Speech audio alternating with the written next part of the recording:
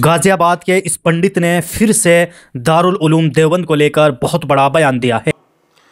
आज 22 फरवरी 2024 को दारुल उलूम देवबंद ने गजवाए हिंद की आधिकारिक घोषणा अपने एक फतवे के माध्यम से कर दी है। कोई इसका अर्थ समझे या ना समझे, आप उत्तर प्रदेश के मुख्यमंत्री हैं और हम सभी चाहते हैं कि आप एक दिन भारत के प्रधानमंत्री बने। मेरा आपसे अनुरोध है, उन्होंने सौ करोड़ हिंदुओं की हत्या का फतवा दिया है। मैं आपसे अनुरोध करना चाहता हूँ, आपका बुलडोजर अब दारुल उलूम देवबंद तक पहुँचना चाहिए। आपका बुलडोजर वहाँ पहुँचे और दारुल उलूम देवबंद को ध्वस्त करके दिखाइए। छोटे मोटे लोगों पर बुलडोजर चलाकर कुछ नहीं होने वाला है। आज ही आपके बुलडोजर, मेरा अनुरोध है, दारुल उलूम देवबंद को ध्वस्त करिए। और मेरा हिंदुओं से अनुरोध है, अगर तुम्हारे ये नेता नहीं कर पाते इस काम को तो हिंदुओं तुम करो, वरना ये तुम्हारी नस्लों को नहीं छोड़ेंगे। इस यति ने सीएम योगी से मांग की है कि दारुल उलूम देवबंद को बुलडोजर से गिरा दिया जाए। तो आप सबने सुना कि किस तरह यति दारुल उलूम देवबंद के उस पुराने फतवे को लेकर बहुत बड़ा विवाद खड़ा करना चाहते हैं। और ये वो लोग हैं जो हमारे मोहब्बत भरे मुल्क का माहौल ख़राब करना चाहते हैं। यति के इस बयान के बाद आप सबसे रिक्वेस्ट है कि आप डॉक्टर मुफ्ती मुकर्रम साहब का यह बयान भी सुनिए। और साथ में हिंदुस्तान के कोने कोने तक डॉक्टर मुफ्ती मुकर्रम साहब का ये बयान ज़रूर पहुँच जाना चाहिए, ताकि लोगों को पता चले कि मुसलमानों ने हिंदुस्तान के लिए क्या किया है।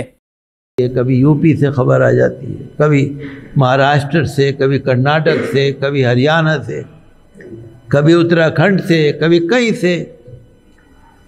हिंदुस्तान में फ़िरका परस्ती फैल रही, नफ़रत। एक ख़ास फ़िरक़े से तसब। कहीं मस्जिद कहीं दरगाह कहीं कब्रस्तान कहीं जान कहीं कुछ। तो जैसा आपने सुना था अभी हल्द्वानी में जो कुछ हुआ था तो एक तंजीम गई थी वहाँ पर। कुछ समाजी कारकुन गए थे, उन्होंने वहाँ जाकर इंक्वायरी की तो देखा कि वाकई वहाँ पर जो कुछ हुआ, गलत हुआ। हम मुतालबा करते हैं कि जो लोग वहाँ शहीद हो गए थे, पुलिस की गोली से उनको मुआवजा मिलना चाहिए। और फ़िरका परस्ती ख़त्म होनी चाहिए। जो हमारा आइन कहता है संविधान, वो होना चाहिए।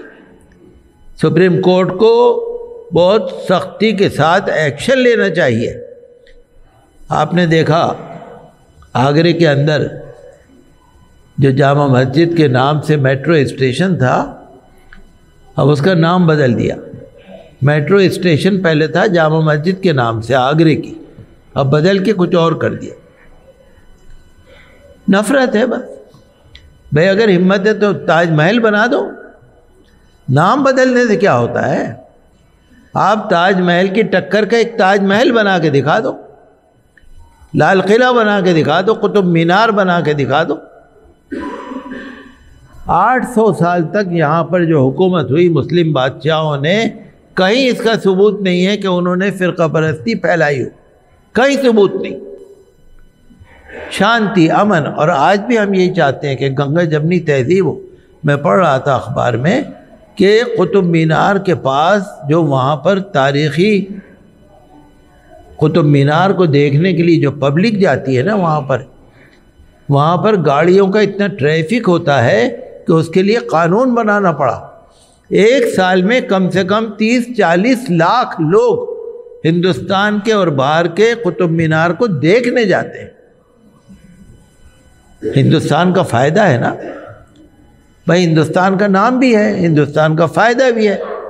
जब एक दफ़ा कुतुब मीनार को लोग देखने, देख के जाएँगे, वीडियो बनाएँगे, फ़ोटो बनाएँगे तो फिर वहाँ के लोग और देखने आएँगे। ताजमहल को अगर कोई देखने जाता है, हमारे एक रिश्तेदार आए थे ऑस्ट्रेलिया से। रिश्तेदार क्या मिलने वाले आए थे? उनके साथ एक आठ दस साल का बच्चा था, जो ऑस्ट्रेलिया में स्कूल में पढ़ता था। तो उस बच्चे ने जब अपने साथियों से जो क्लास फेलो हैं उनसे कहा, मैं इंडिया जा रहा हूँ तो वहाँ के बच्चों ने कहा कि, तुम ताजमहल देख के आओगे? देख रहे हैं आप? ताजमहल से भारत का नाम ऊँचा हो रहा है। ताजमहल से भारत में बाहर के लोग आ रहे हैं, विदेशी आ रहे हैं। फ़ायदा है ना? तो हम तो ये चाहते हैं कि देखिए, हमारे मुल्क में अमन रहे, शांति रहे। उन्नीस सौ इक्यानवे में जो कानून बना है वर्शिप प्लेसेस एक्ट उस पर अमल होना चाहिए। हम हिंदू मुस्लिम बात नहीं कर रहे।